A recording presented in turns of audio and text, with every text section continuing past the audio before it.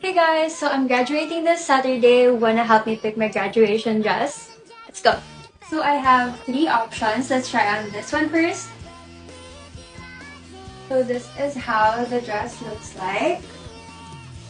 It's this super cute black mini dress with this bow knot at the back.